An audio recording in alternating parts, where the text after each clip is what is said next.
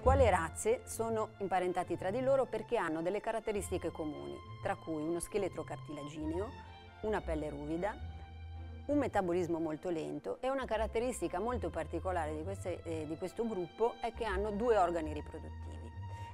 Questi organi riproduttivi però non vengono utilizzati tutti e due durante l'accoppiamento, ne viene utilizzato uno solo. L'accoppiamento è anche piuttosto cruento perché eh, la femmina viene veramente morsicata dal maschio per essere eh, trattenuta durante l'accoppiamento. Pensate che addirittura le femmine hanno una pelle più spessa per questo motivo.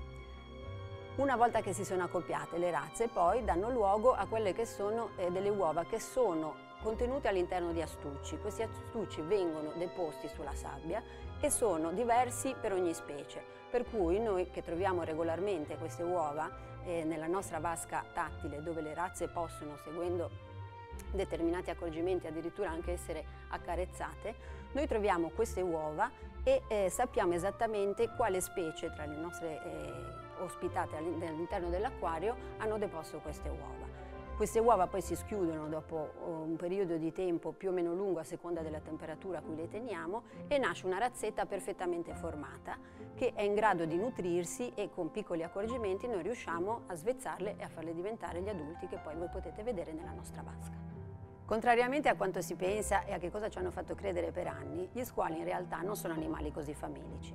Pensate che all'interno del nostro acquario noi abbiamo i nostri squali tre volte alla settimana, a differenza dei delfini che invece mangiano quattro volte al giorno. Noi cibiamo i nostri animali regolarmente e li conosciamo tutti uno per uno. In questo modo noi possiamo eh, registrare quello che loro mangiano e, e tenere sotto controllo il loro stato di salute.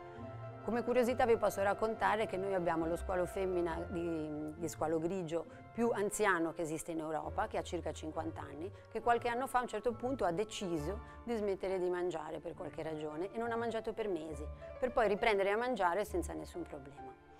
Grazie al fatto che non sono animali così famelici, noi ci possiamo anche immergere regolarmente con loro in vasca eh, senza dimenticare però che loro hanno un sesto senso. Questo sesto senso gli permette di eh, percepire quelli che sono i campi elettromagnetici, quindi probabilmente grazie a questo senso loro in qualche, in qualche modo ci riconoscono, noi conosciamo loro ma loro conoscono anche noi.